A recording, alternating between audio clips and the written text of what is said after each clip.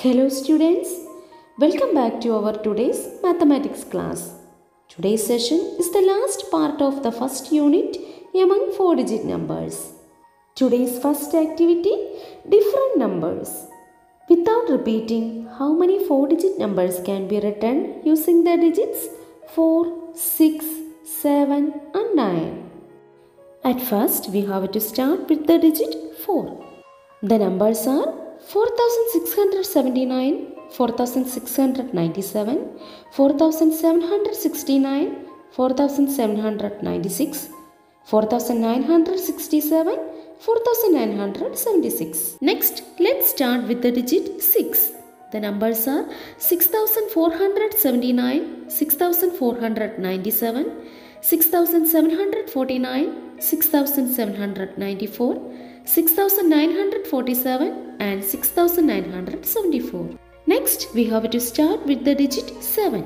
The numbers are 7469, 7496, 7649, 7694, 7946 and 7964.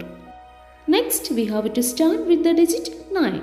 The numbers are 9467, 9476, 9647, 9674, 9746 and 9764.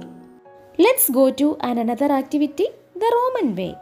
In Roman number system, the letters I, V, X, L, C, D and M are used.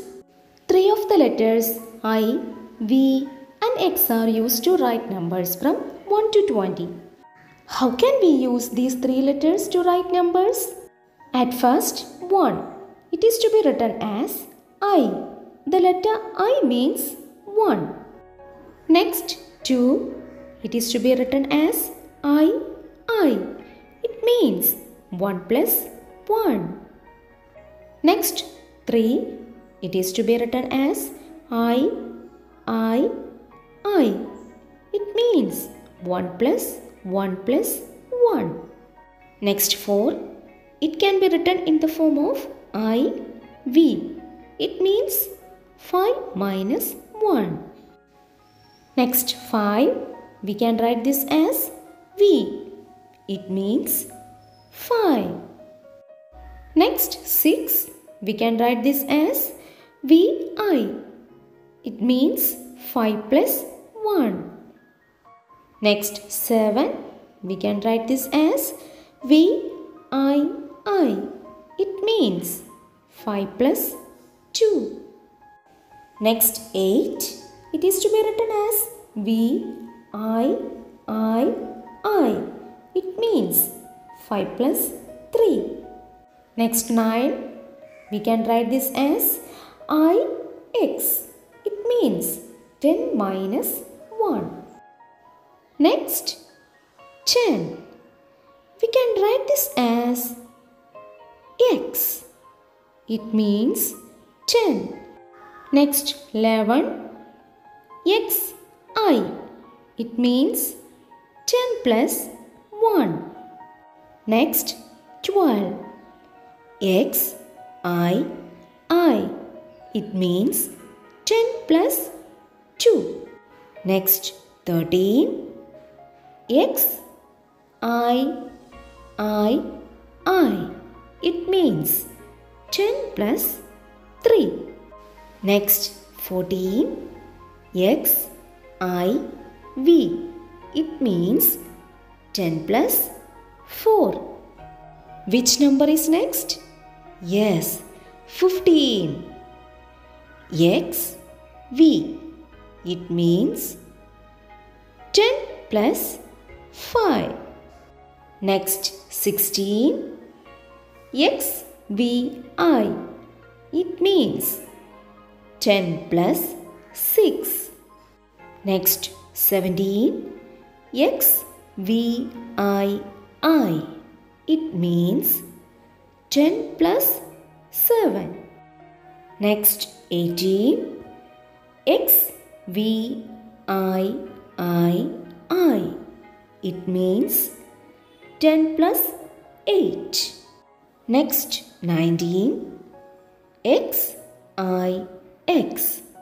It means 10 plus 9.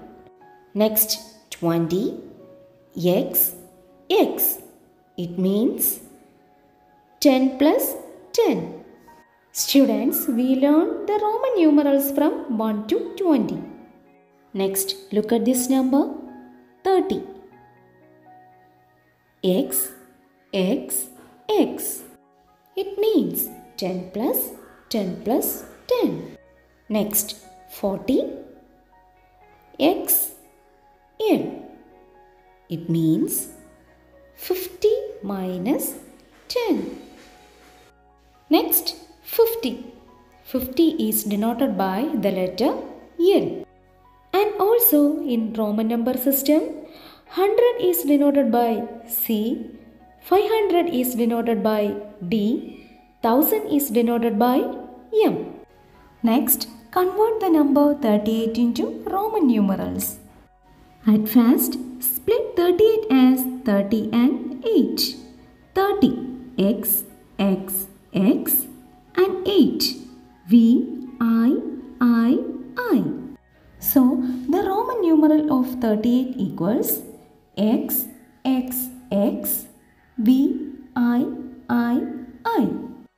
Next, convert the number 44 into Roman numerals.